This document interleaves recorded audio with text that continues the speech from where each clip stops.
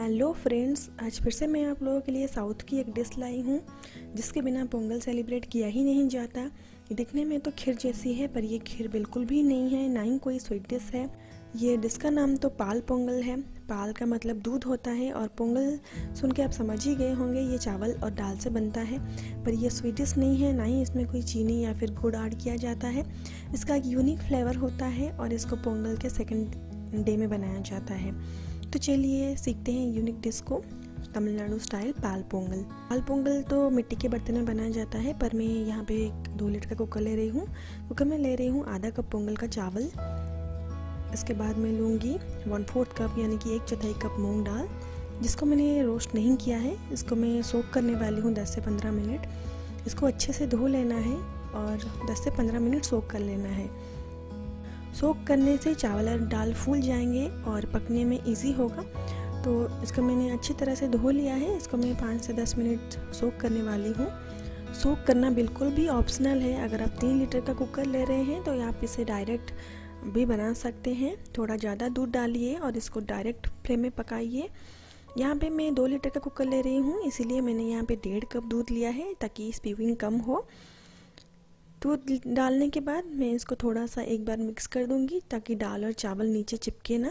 इसके बाद मैं इसका ढक्कन बंद करके इसको चार सीटी आने तक हाई फ्लेम में पकाऊँगी। अगर आपने तीन लीटर कुकर लिया है तो आप डायरेक्ट इसको छः से सात सीटी डाल दीजिए हाई फ्लेम में। देखिए, मैंने कुकर बंद कर दिया है और इसको मैं हाई फ्लेम में चार सीटी आने तक पकाने वाली हूँ। पोंगल एक्चुअली मिट्टी के पॉट में बनाया जाता है, जो गन्ने गन्ने के पेड़ के चारों ओर एक बीच पॉट होता है ना, उसी में जो उबल के बाहर निकले तब भी इसको सूप माना जाता है। पर हम लोग यहाँ पे कुकर में बना रहे हैं ताकि ये जल्दी बन जाए। देखिए फ़र्स्ट सीटी आने वाला है और थोड़ा सा स्पीविंग हुआ है। ऐसे ही चार सीटी लाइए और कुकर को बंद कर दीजिए। कुकर अपने आप ठंडा हो गया है। अब मैं इसका विसल खोल रही हूँ। देखिए, इसको मैं मैश करके देख रही हूँ। ये बहुत ही अच्छी तरह से पक गया है क्योंकि हम लोगों ने इसको सोक कर दिया था इसीलिए। इसको अच्छी तरह से एक फ्लैट स्पून के हेल्प से मैश कर लेना है क्योंकि इसका टेक्सचर भी मसी होता है। इसीलिए हम लोगों को इसको अच्छी तरह से मैश करना बहुत ज़रूरी है। और मिक्सर गर्म हो तभी इसको मैश करें। मिक्सर ठंडा हो जाएगा तो इसको मैश करने में आसान नहीं होगा।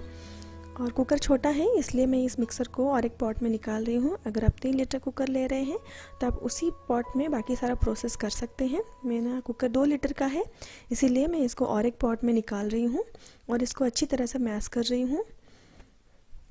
इसके बाद मैं एक कढ़ाई छोटा सा कढ़ाई ले रही हूँ। आप चाहे तो तड़का पान, पैन भी ले सकते हैं। अब कढ़ाई गर्म हो जाए तो इसमें डालेंगे दो से तीन बड़े चम्मच घी। नॉर्थ में टेम्परेचर काफ़ी कम है, इसलिए घी पूरा जम गया है, पर पर साउथ में, स्पेशल तमिलनाडु में तो गर्मी होती है। वहाँ पे तो ठंडी होती नहीं है, इसलिए वो लोग मिल्टेड घी डालते हैं। जैसे ही घी गर्म होता है, हम लोग काजू किशमिश को तल लेंगे। यहाँ पे आप पूछेंगे, ये स्वीट डिश तो है नहीं तो काजू किशमिश क्यों डाला जाता है? इसमें काजू किशमिश डालना मुझे और ज़रूरी होता है, क्योंकि इसी का तो टेस्ट आता है। सिर्फ़ दाल चावल को हम लोग दूध में पकाएँगे तो इसका टेस्ट तो आएगा ही नहीं। जैसे ही काजू किशमिश थोड़ा सा फूल जाते हैं मतलब काजू ब्राउन हो जाता है किशमिश फूल जाते हैं, तब ये पूरे मिक्सर को हम लोग डालो और चावल के मिक्सर में डाल देंगे और इसको अच्छी तरह से मिक्स करेंगे। अब मैं यहाँ पे डालने वाली हूँ एक कप दूध, जो मैं बैचेस में डालने वाली हूँ, क्योंकि एक साथ सारा दूध डाल देंगे तो यहाँ पे गुठलियाँ बन जाएँगी और गुठलियाँ तोड़ना आसान नहीं होगा। इसलिए इसको अच्छे से बैचेस में डालें और इसको मिक्स करते जाएँ। अगर आप तीन लीटर का कुकर ले रहे हैं तो डेढ़ कप दूध की जगह आप दो या ढाई कप दूध ले सकते हैं। अब मिक्सर इस तरह का मोटा नहीं होगा, थोड़ा सा पतला होगा और मैश करने में आपको आसानी होगी। देखिए, मैंने यहाँ पे तीन बैचेस में एक कप दूध डाल दिया है। जब तक कि हम लोग को ड्रॉपिंग कंसिस्टेंसी का मिक्सर ना मिल जाए, तब तक हम लोग को इसमें दूध डालते रहेंगे और इसको मिक्स करते जाएँगे। इस बीच मैंने यहाँ पे एक चौथाई चम्मच नमक डाल दिया है, जो मैं सूट करना भूल गई थी। इसी स्टेज में आप इस मिक्सर में मिल्क पाउडर या फिर पाल गोवा यानी कि खोया डाल सकते हैं, जिसमें पाल पोंगल का टेस्ट बहुत बढ़ जाता है।